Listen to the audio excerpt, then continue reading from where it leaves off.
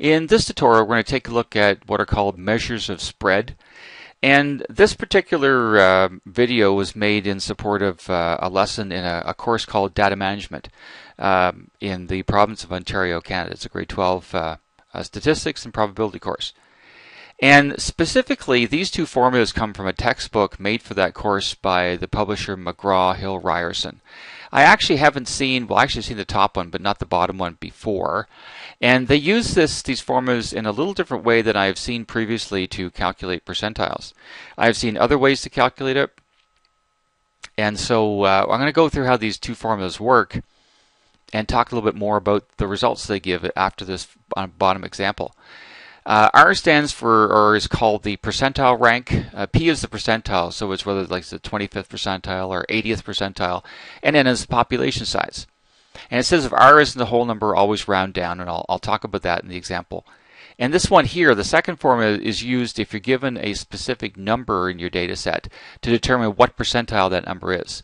So L is the number of numbers, data points below that number, and E is the number equal to it, and again, N is the population size. So in this example, it says the heights of 18 students are given below. We're asked to find the 25th percentile and what percentile is the 170 centimeter height. Now notice that these are not in order. So you need to order them. So there's the list in order. Smallest number is 153, highest number is 183. And so if we want to calculate the 20, 25th percentile, we need this formula. So I'm going to write that down there. Now we're doing the 25th percentile, so so P would be 25, and you can count them or notice the heights of 18 students, so N would be 18. So putting 25 and 18 in place of P and N, that's the calculation we get. And so basically it's 25 divided by 100 times 19. And so that's the calculation and it gives us 4.75. Now this says if R isn't a whole number, always round down. If this was a whole number, let's say that was 7, for example, then we would just look at the seventh number. And we count along here, and the seventh number would be that percentile. But it's not. So what the 4.75 means is you're supposed to take the fourth number and the next one, which would be the fifth number, and average them. So if we count 1, 2, 3, the fourth number from the bottom is 159, and 163 is the next number, the fifth one. So we average the two of them. So add them up, divide by 2, and we get 161. So that's the 25th percentile, 161. In B, it says what percentile is the 170 centimeter height? So that's the second formula. So uh, in the formula, L is the number of data points below 170, so we can count them 1, 2, 3, 4, 5, 6, 7. And the E is number equal to, so the notice there's 370, so we're going to put 3 in there. And so this is the calculation, 100 times 7 plus 0.5 times 3, and then divided by 18. And we get 47.22. So that would mean that the 170 centimeter height is the 47th percentile. Now, notice that the 170s are in the middle here. So we would assume that the 170 should be around the median, around the 50th percentile. And after I did these two calculations, I decided to check them using a different method. And so I'm going to flip over to the next page. And so I'm using here an, an, an application called GeoGebra. And I typed in all those numbers. I typed them in order, but it really doesn't matter if they're in order to use this. Although it's kind of nice as a check that you can actually see them and and uh, figure out where the all the quartiles and the median are. So 153, 55, 56. You can actually go back 153, 55. You can actually go back and check if you want. Uh, 180, 82, 83. I did type in all the correct numbers. They are correct. Now, in order to find the median, there are 18 numbers, and this is a different method than using the formula.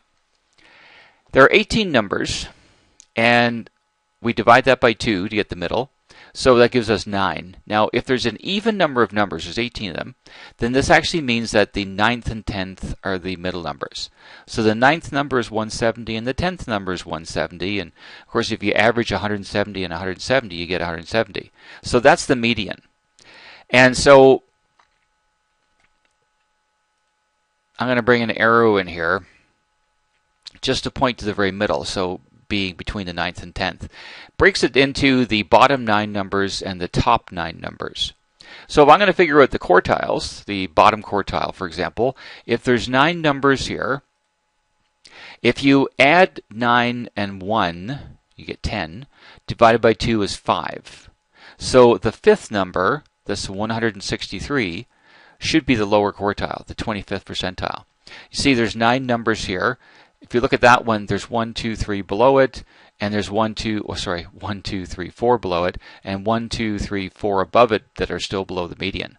So that is the middle number of the bottom nine numbers. That's not what I got on the previous page. We remember it was 161. So this is actually agreeing with what GeoGebra gives me, uh, a lower quartile of 163. Now pretty close, 161, 163, not much different, okay? But those formulas on the previous page don't always produce the same results as this application is going to. So I've got the uh, median and the lower quartile. Now let's do the upper quartile. So uh, again, there's nine numbers above here. So 9 and 1 is 10 divided by 2 is 5 so it's the fifth number of these top number top nine numbers.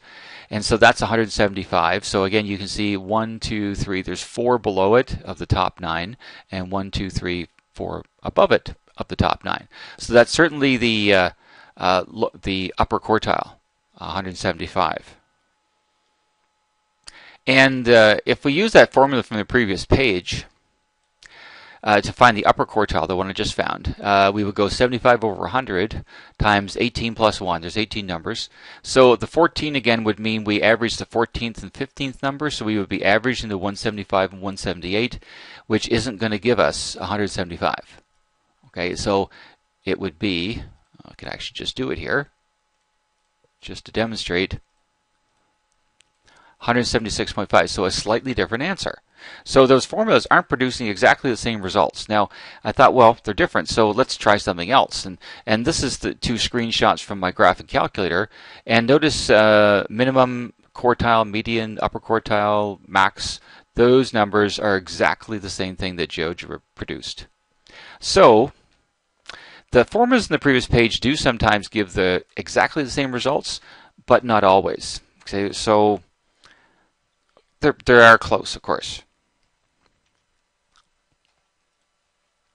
So, uh, a bit about quartiles. Uh, Q1, or is the another name for the 25th percentile, the first quartile. When the data is ordered, uh, it's the middle number between the lowest data point and the median. The Q2, or the median, is the 50th percentile. That's, that's the middle number when the data is put in order. Q3, or the 75th percentile, uh, when the data is ordered, it's the middle number between the median and the highest data point. And again, they always have to be ordered for all this. The uh, interquartile range, abbreviation IQR, is the range of values between Q3 and Q1. It's the middle 50% of the data.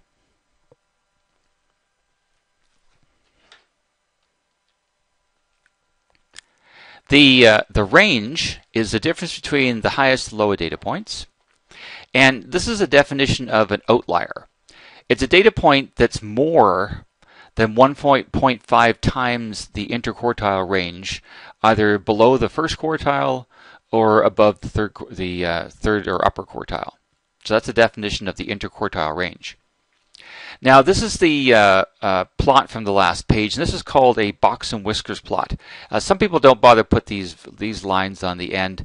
It kind of looks like the face of a cat a bit. That's the whiskers. You see, here's the face, and this is a whisker going out on this side and on this side. Uh, I put on here the uh, data points, the 153, 63, 70, 75, and 183. If you remember from the previous page, that's those numbers right there. So this is a box and whiskers plot, and it's a it's a neat way to illustrate the data. The um, uh, the box actually holds 50% of the data because the interquartile range is the difference between the 163 here and the 175 here. And so if you calculate that, uh, you get 12. So there's a difference of 12 centimeters between here and here, which contains the middle 50% of the data. This vertical line here is where the median is. So half the data is below that, half the data is above that. Minimum point is the bottom of the whisker here. Maximum point is the top of the whisker here. And the range, of course, is the difference between the minimum and the maximum, which in this case would be 30 centimeters. So that's a box and whiskers plot. You do need a scale at the bottom. And one of the nice things about box and whiskers plots is it's a good way to compare two different sets of data because you can just put them both on the same scale and easily see the differences and similarities between them. And uh, one more example here. This is with group data. Um, example two, the uh, the arm spans for a basketball team are given in the table below, and you're asked to determine well all the same statistics: uh, Q1, the median, Q3, range, inter- interquartile, and then draw a box and whiskers plot. And this is group data. So the arm spans go from one, well, the 160s, the 170s, 180s, up to uh, between 200 and well, 209.9. And these are the frequencies. So there's two numbers in this, four numbers in this, seven numbers in this, etc. So the cumulative frequencies is all the frequencies from that interval and below. So the uh, we're going to put a just bring the frequency of two over here because there's nothing else below that interval. This interval here, see there is two in the one below and there's four in this one, so the cumulative frequency for the 170s would be six because there's four in that one and two below, four and two add to six. For the 180s, there's six below it and seven in this one, so there'd be 13 in from this one and below. Uh, 13 and 5 is 18, so that, that 18 means that there are 18 numbers in this interval and below it. And then we add one more to get the uh, cumulative frequency for the top. So uh, that also tells us that n is 19. There's 19 numbers. So in order to determine the median, uh, there's 19 numbers and there's an odd number of them. So if you add 1 to get 20 and divide that by 2, the 10th number is going to be the median. Okay, so that's the middle number. Now, a nice thing about having the cumulative frequencies here is we can see where that 10th number is. You see, 10 is between 6 and 13. So there's, there's six numbers in this interval and below, but we want the 10th one. So we have to go into the next interval. And so you're looking, because 10 is between 6 and 13, that means we're in this middle interval. And so the uh, median, and we use the midpoints in the intervals. So the midpoint between here and, and well, the mid, middle of the 180s is 185. So that's why we'd say the uh, median is 185. Now, some people might be really technical and say, well, why don't you go zeros subtracted from 9.9 divide by 2? And, you know, if you really want to be technical, you're actually dividing 9.9 by 2, so it should be 184.95. So I'm just rounding to the nearest uh, whole number, and so we get 185 here. So that's the median. So to get the uh, the lower quartile, uh, if there's uh, the tenth number is the middle one, then there's nine below it, and so the uh, the fifth number would be the lower quartile. Well, where's the fifth number? There's only two in the first category, and so there's four more in the middle one. So between five is between two and six. So we're looking in this category, and so that's why the lower quartile or the 25th percentile would be 175. 175 being the middle of this interval. Well, where's Q3? Q3 is the 15th number because if there's the 10th number is the middle one, there's nine above that. So the 15th would be the, th- the third quartile or the 75th percentile. Where is that? Well, 15 is, uh, see, up to 13 up to here. So 15 is between 13 and 18. And so we'd be looking in this interval, so the middle of that one would be 195. So that's the third quartile. The range would be the difference between the, the middle of this 205 and the middle of this one 165. So that's 40. So it's a difference of 40 between the middle of this interval and the middle of that one. And the interquartile range is the difference between the 195 and 175, which would be 20. So to draw this, the uh, we put the box in the middle here. So the lower part of the box is at 175 here. Q3 is 195, so we put at 195 here. The uh, median was 185, so 185 would be right there. And the lowest data point would be uh, 165, the bottom, the middle of the bottom interval. So our whisker here would extend down to 165, and the middle of this interval is at 210, sorry, 205, the middle of the interval. So we go from here up to that. So that's what the box and whisker plot would look like. Now, just to go back to those formulas, I don't want you to leave leave you with uh, the impression that those two formulas from the first page never work, because they actually do in this case. So um, we've got, remember, we got 19 numbers. So if I'm going to do the 25th percentile, 25 divided by 100 times 19 plus 1. Okay, that gives me 5. Okay. So the uh, lower quartile is the fifth number, so that does produce the 175. Let's do the uh, median. We put 50 in here for the median. So it's telling me it's the 10th number. 10th number is median, 185.